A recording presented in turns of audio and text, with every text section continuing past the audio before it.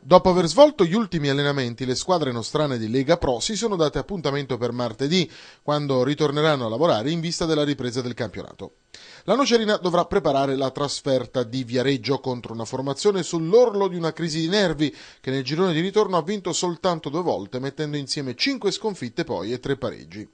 Dunque i toscani hanno frenato in non poco e la salvezza diventa obiettivo più complicato da raggiungere senza passare dai play-out. La Nocerina non potrà tra l'altro permettersi passi falsi, ha un calendario sulla carta non complicato e gli spareggi promozione dovrebbero essere cosa certa. Mercato, primi movimenti per il futuro. Il giovane Scognamiglio, gioiello della Berretti rossonera, sarebbe già finito nel mirino del Milan. La Paganese invece dovrà tentare di conquistare la prima vittoria nell'ambito delle tre sfide interne consecutive che il calendario le ha donato in questa parte finale di stagione.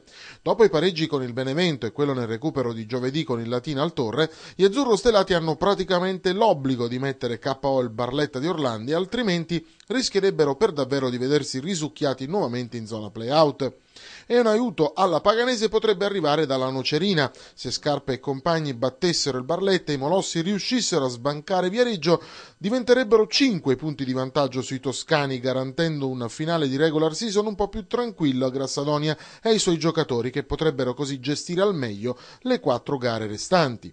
Seconda divisione infine, pace fatta tra Guazzo e Zampa, i due che erano quasi venuti alle mani in una seduta di allenamento della Salernitana di inizio settimana si sono abbracciati in mezzo al campo prima del rompete le righe Pasquale. Auguri, pace la serenità che è stata riportata nel gruppo tra il centrocampista e l'attaccante dopo che gli animi si erano un po' troppo surriscaldati.